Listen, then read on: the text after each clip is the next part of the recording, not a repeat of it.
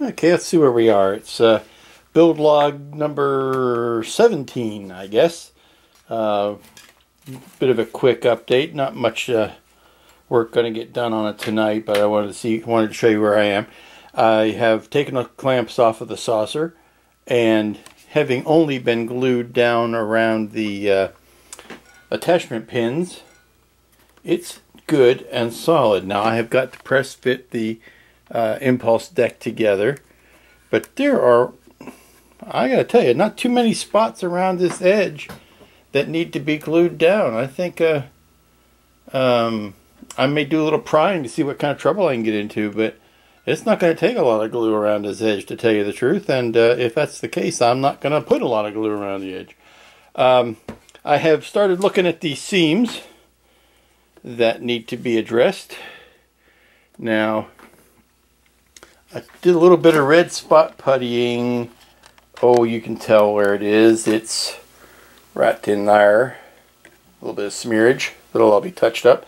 But I used some white tulip, uh, the uh, fabric paint, that uh, to to it makes a very good gap filler and a very good light block, and you can see some of it in there. Now it uh, I put some of that in last night and it has dried so I'm going to sand a bit of that down and touch it up again.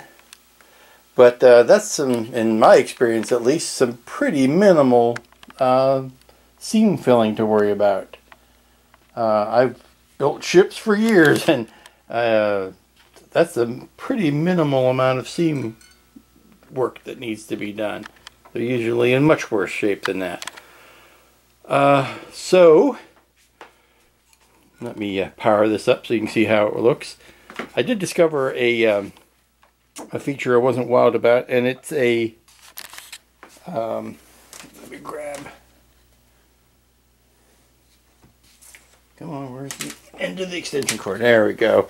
Um, something I wasn't wild about, and I know exactly why it happened, and I know exactly how to stop it from happening last next time. But uh, let me turn the overhead light off and then see if I need to reset the uh, white balance.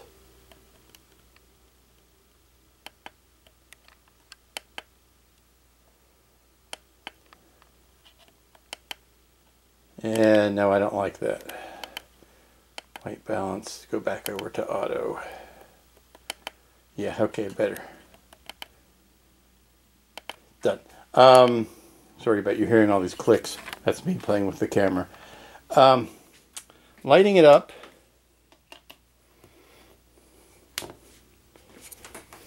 I did not fully insulate, not insulate isn't the right word, isolate perhaps is a better word, the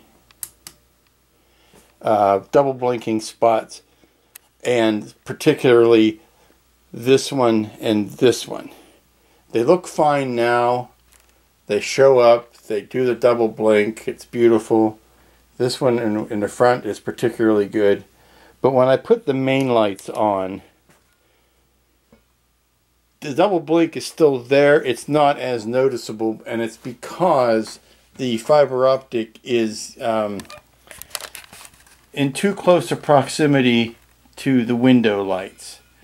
And once that happened, the uh, it's picking up the transfer of light from the window lights, and so the fiber optic is never truly ever dark uh, around it. And I think the the best way to handle that on the next build will be to uh, either put some of that um, tape, uh, you know, liquid tape on it to um, insulate that that uh, fiber optic away from the window lights.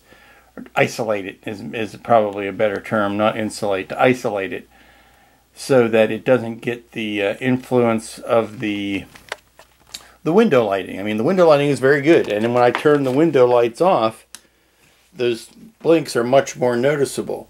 But it has to do with how directly the fiber optic is uh, touching the light the, the, you know the light source for it and how much it needs to be isolated from the other ones. Now everything else is cool now and and that's very much admittedly small potatoes. If I had, if that was the only problem I had to deal with um, in the real world, I would be more than happy. But because everything else is going so well, um, little things like that are starting to, to pop up.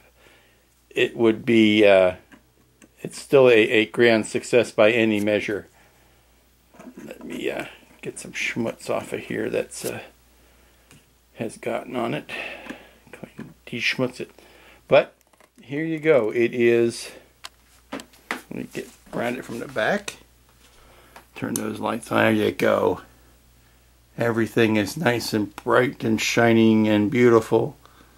And the next step is to go through and just pick an area and uh, detail paint. I'm going to knock these, uh, let these seams dry in a little bit more and then start sanding the seams and closing those up.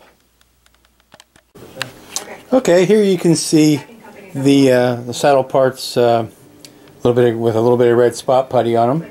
And I did put the saucer together or, or, or work the seam a little bit with some Tenax. And I took off that last, uh, well you can see, almost see it, the, uh, the last stripe of the template. The uh, I also pushed together the impulse deck area and you can see that I had to spot putty that a little bit. Now that the major construction is done, uh, it's much like same thing that happens in a house when you're building a house. The big showy stuff is done, and now it's just a question of circling in and making ever smaller circles on painting over the details. So uh, the reports are probably going to get shorter and shorter and have incrementally less to show because all the big flashy stuff has been done. But tonight's uh, project is the following these guys here, these four bits, um, they're covered with decals in the kit itself, uh, but they're the kind of the big overly graphic decals that I'm not wild about. Uh, I recently got a, a high-res render from my uh, inside source Daniel Broadway and uh, Pixel Magic as he's known, and they show something that is more consistent with uh, other pictures that I've seen where they have this these shapes to be a more or less solid tan color. So I'm going to mask these off and paint those tonight.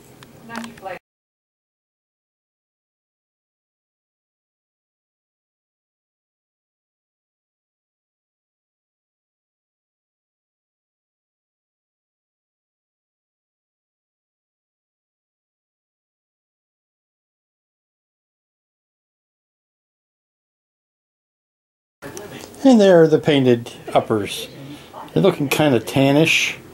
Um, don't know how wild I am about this color, but uh, it will grow on me, I'm sure. Let me take a look at it in another light. Yeah, I may need to uh, mist over that with a little bit of white to uh, knock that down, make that look a little less severe, but uh, all in all, I like it. Certainly better than those uh, uh, lined decals. Yeah, I could see putting a. Uh, there's another uh, another detail detail color going that goes right in here on that leading edge, but I can see misting that over with a little bit of white to knock that color down. It's maybe it's just the shock of the new, but it looks a little too stark all things can be worked out.